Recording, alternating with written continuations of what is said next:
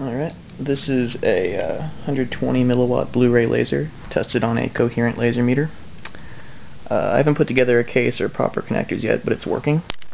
At this power output, you can definitely uh, you definitely need eye protection, uh, so definitely use the proper precautions. The 405 nanometer wavelength is only a 5 away from the UV spectrum, and um, yeah, I would be surprised if this thing could cause cancer.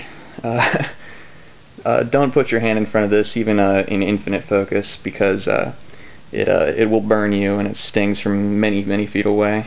And um, so yeah, there it is, and I'll show you what can, it can do. I'm not sure if you can see it well. Yeah.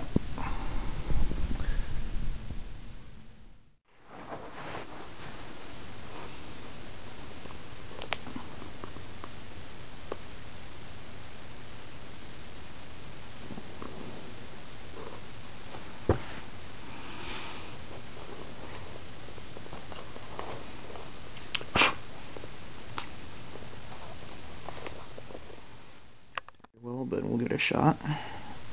I'm wearing glasses so I can't see. Let's see here.